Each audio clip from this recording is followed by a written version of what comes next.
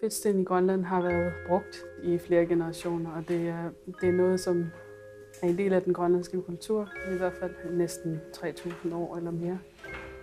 Og det er noget, som er eftertragtet, i hvert fald set udefra fra turister osv. Og, um, og det er noget, de især også kan se i Kanada, at det er noget, som burde bevares. Um, og derfor synes vi, det var spændende at kigge på fedtsten.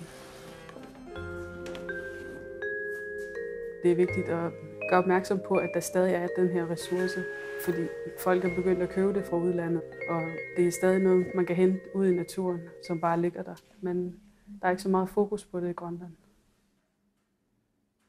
Inuit in our Arctic that make use of soapstone um, for carving. Um, it's really become a very, very important segment of their economy. Um, and this began in in uh, 1949 is the date we set for the beginning of the contemporary period of Inuit art. Probably in the last 20 years, artists have, be, have become more aware of the international importance of what they're doing. they're going to exhibitions in Europe in the United States, um, Inuit art has become rather iconic whenever the government, whenever they exchange gifts uh, internationally, they, they use a, a, carving by an Inuit artist. So um, it, it's really huge. I mean, you see uh, Inuit stone carvings everywhere. Der er kæmpe efterspørgsel på brugskunst, fordi det er noget, som folk det Når de tænker på Grønland, så tænker de på dubelak, så tænker de på gamle savn, plus at de kan hænge det op eller bruge det til som smykker. Mange har kæmpe talenter, som der ikke ved, hvad de kunne, indtil de har dem i hånden, og så kan de lige pludselig se formen. Det er sådan naturtalenter, som der ser overfedt sten, og selvom de ikke har blandet om, hvad de skal lave, så er det lige pludselig udformet til helt noget unikt ting.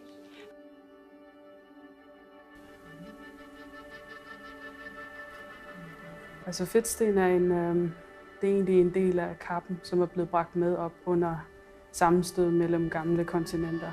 Og så er det blevet omdannet fra den oprindelige bjergart, det var. Så, øh, så den er blevet udsat for varme og væske, der så har omdannet det til en mere blød bjergart, som egentlig er Øhm, noget, du kan rise i meget let med en, med en kniv eller med, også med en negl endda. Det findes flere steder i Grønland, men Nuuk-området er det sted, hvor der er flest fedtstenforekomster. Og har også været det et meget vigtigt sted, altså historisk for fedtsten. Der har været meget um, handel med fedtsten fra Nuuk, hvor de så har handlet med, med nord og med syd med, med det, de manglede i, i Nuuk-området. Øhm, men fedtsten var vigtigt Jamen, det her det er typisk øh, aftryk efter øh, Nordbo-udnyttelse af den her fedtstenforekomst. Mm-hmm. Øh, man kan se nede i enden her af bassinet, at øh, der er taget store blokke ud, og vi kan se, at de her karakteristiske aftryk, øh, som er nærmest af sildebensformet eller fiskebensformet, og det øh, indikerer, at det er, det er nordboer, som har udnyttet, eller den her forekomst øh, sidst. Hvis vi ser på, hvordan øh, hugsporene efter øh, det, tulefolkets udnyttelse af, af fedtsten øh, har været, så tyder, så tyder det på, at de i den tidlige fase i hvert fald har brugt øh, rensdyrgevir, altså rensdyrtak, som de har, øh, som de har lavet til, til øh, en, ja, de har lavet noget, noget huggeudstyr ud af sådan. Det har været sådan en tværøkse øh, lignende ting, hvor de så har øh, formet øh, spidsen af det her tak. Her har vi Mount Siligariu bjergart, som sidder her. Og på den her side har vi den fedtsten. Og inde imellem det er en reaktionszone. Så her har vi meget sorte bjergarte. Så her har vi meget grønne mineraler. Her har vi så meget hård fedtsten. Og her ved siden af har været den bløde fedtsten. Og man kan faktisk se herinde, at folk har prøvet at tæve herinde. Og så kom de kom de til den hårde zone, hvor de ikke længere kunne se intet.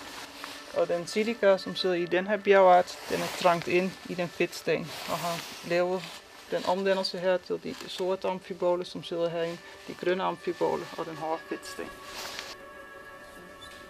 Vi vil gerne undersøge fedtsten, um, deres øh, altså geokemiske sammensætning, for at se, om vi kan finde en eller anden form for øh, fingeraftryk for de her fedtsten, især fra nukområdet. området og se om vi kan adskille dem fra de andre fedtsten i, i Grønland.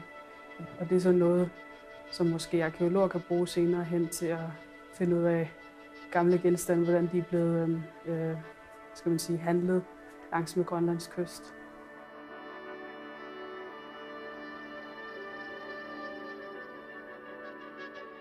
Altså perspektivet med det her fedtstensprojekt er egentlig at bare skabe mere fokus på fedtsten, fordi det er en ressource, vi har i Grønland, og den er blevet glemt lidt, og derfor håber vi, at det skaber mere fokus på fedtsten som ressource.